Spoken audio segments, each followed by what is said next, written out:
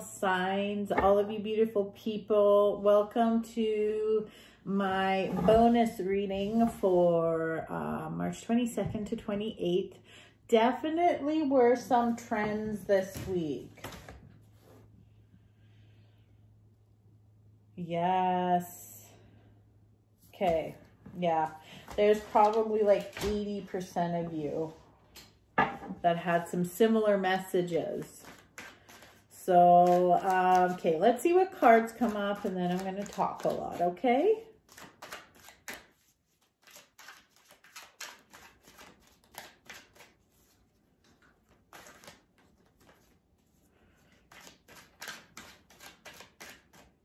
Okay, that feels good. There it is.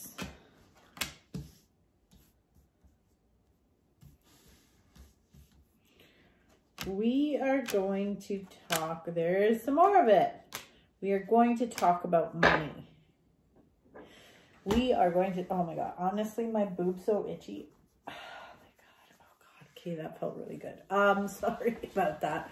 Um, anyways, uh, yeah, we're going to talk about money. And it's weird that this, I mean, I shouldn't say it's weird. It's not weird that it came up, but, um, the fact that money came up so much for a lot of people and um, I actually posted about this on my Instagram page. Um, yeah, relationship with money. What is your relationship with money? We are really like, we're going through a shift right now. We always seem to be going through a fucking shift, right? But there is something going on right now with money. And it here's the thing money is energy. It's a form of energy. Money is not the root of all evil. It can definitely make people do shitty things. Uh, but it doesn't have to be evil. And you know what? I like money. I really do. I like the things it can buy me and get me. So um but i feel like I feel like people's relationships with money are a little fucked. So, um, like I said in my Instagram post, like, what is your relationship with money? Are you obsessed with money? Do you, uh, do you think, do you put like a lot of value on money when it comes to dating or, or, uh, friends or stuff like that? Oh, I'm getting really, whew, they're moving the table. I'm getting really riled up here. Um, do you have a hard time accepting money? Do you have a hard time asking for money? I know for me, like I'm fucking guilty of this and you know what? It doesn't end well for me ever. But when I do one-on-one readings, like I try to keep to that time limit. Like if someone only paid me for 30 minutes, I should be sticking to 30 minutes. But there's always like this weird guilt factor inside me, which is so fucking stupid I mean, they paid for half an hour. They get half an hour. It's like um, if you're owning a business and you're constantly looking to um, discount and give people free stuff. Like, um, and this isn't even a psychic thing. I mean, this even comes from my experience in sales. Like, if you give good customer service and you back your product or whatever you're selling, you shouldn't be giving it away for free or for close to free. You know, the right people will come to you and the right people will seek your services. You have to trust in the universe. So, um, then there's people that spend their money like before it's even there, or there's people that hang on to money with their dear life and just like worry, worry, worry. But what these readings uh, and what my intuition is telling me is that everyone could use a little meditation on what like really what is your relationship like with money and where can you change it? I mean so many people have these dreams of being rich or or when i hit it big or when this happens and you think your fucking life is going to be amazing if you know, once you make it, once you have all this money, but that's not fucking true. If you're totally miserable right now, you're still going to be fucking miserable later. Trust me.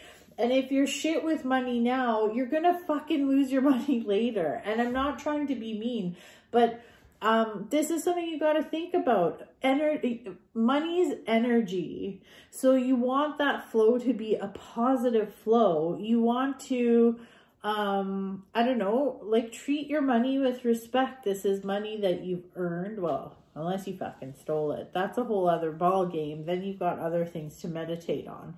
But, um, yeah.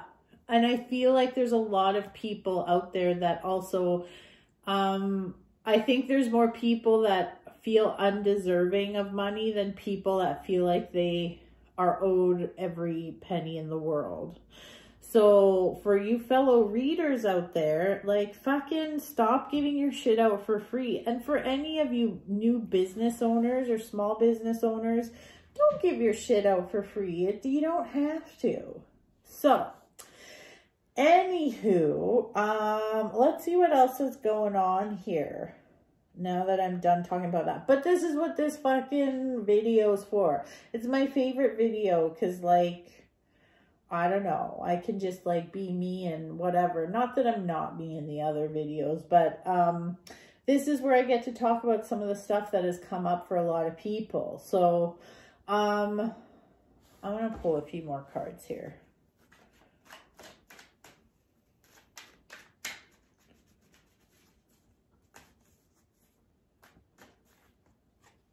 And here's the thing too when I talk about opportunity when it comes to money or career, um, the, this, whole exercise about reevaluating your relationship with money is important because if there is opportunity, you want to make sure you can sustain it. You know what I mean?